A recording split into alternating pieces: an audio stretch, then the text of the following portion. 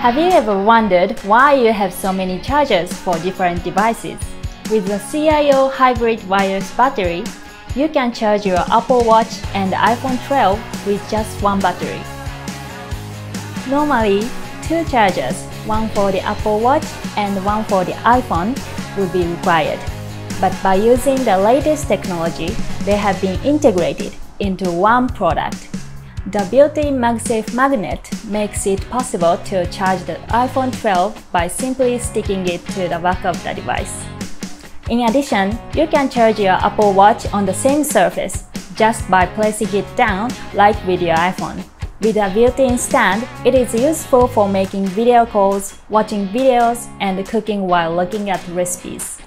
If you connect a USB-C cable, you can fast charge your device at 20 watts. Since it is pass-through compatible, it can also be used as an everyday charger. It is a perfect size for an iPhone 12, so there is no need to worry about cables getting tangled. All this can be accomplished with just one product, saving you time and money.